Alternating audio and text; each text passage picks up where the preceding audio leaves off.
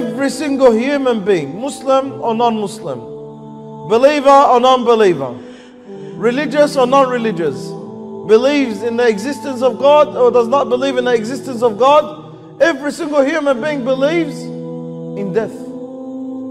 But the thing is, it's forgotten. And it's constantly forgotten.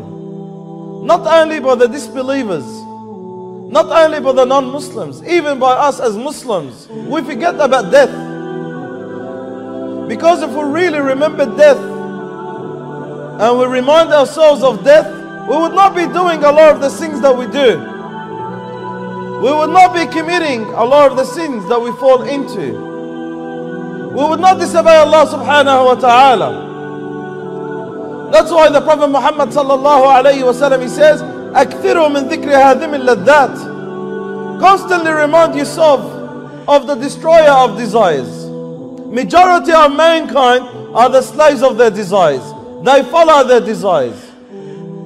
They do exactly what the desire wants them to do. Even if it's wrong, even if it's harmful, even if it's evil, we follow our desire.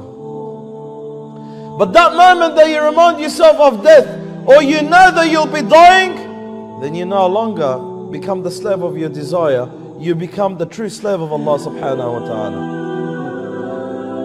If anyone is diagnosed with illness or a disease by the doctor and he says you only have few months to live, watch their character changes. Watch their life turn from one angle to another. Watch them repent.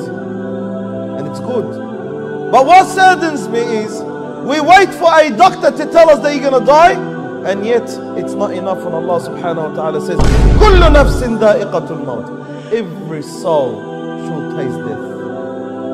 Every soul shall taste death. Every single one of us. Every single one of us shall taste death.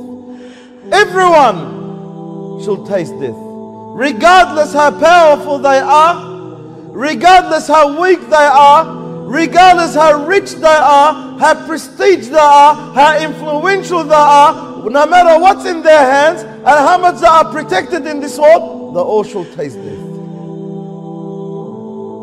Everyone shall taste death. Everyone will experience death. Not only human beings, even the jinn. Even the jinn will taste death. And not only human beings and jinn, even the angels will taste death. Every creation of Allah will taste death. And the only one that will live and never die is Allah subhanahu wa ta'ala, the Lord of death and life.